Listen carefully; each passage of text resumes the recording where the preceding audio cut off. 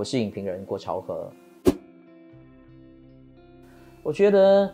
在这个时代，大家都讲求政治正确，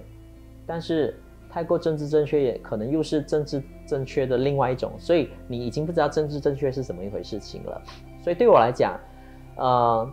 当然我会觉得，因为整个环境的改变，然后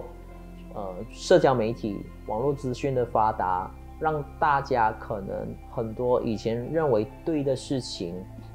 开始会检讨起来，然后也因为不同国家的文化价值观都不同，但是放在同一个平台去比较，大家难免会很快就呃凸显出差异在哪里。所以大家所谓的政治正确，很多时候可能只是基于自己的成长背景，或者是这个国家特定的一个风俗、教育，或者是跟宗教有关。所以没有所谓政治正正确这回事情，但是社交媒体算是一个大家是无差别都可以参与的一个平台，也就是说，无论你是只是念到幼稚园或者念到大学生，都可以在同一个平台留言，所以你根本不知道说留言的人教育背景如何，思想程度成熟在哪里，所以有时候所谓的算命的人数多过理智的人，可是你查一查算命，可能到背后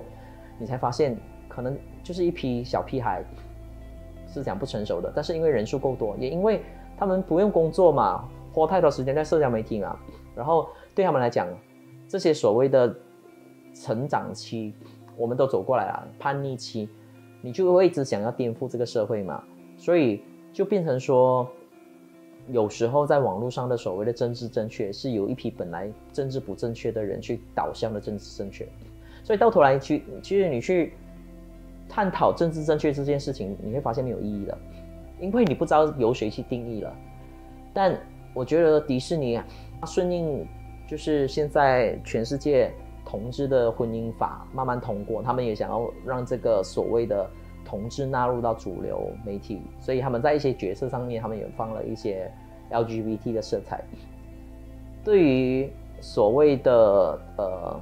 可以接纳这种多元文化价值的人来说，这是政治正确；但对于传统保守的人讲，他就觉得这是政治不正确了。那所以谁去定义呢？你无法去定义，但你无法否认的是，这就是商业市场。迪士尼本来就是商业市场的设计的一环。迪士尼在过去几年，它无论是在政治正确或者是政治不不正确这件这些的议题的创作上，它都有去尝试，而且他每一次尝试，其实他都有根据。市场的反应，包括票房啊，还有一些评价之后，再回馈到他们下一部作品的一些呃营养。所以对我来讲，他们并不是一个死死在那边的绝对论。他们他们在创作上面，他们永远都是跟时代有着相对论。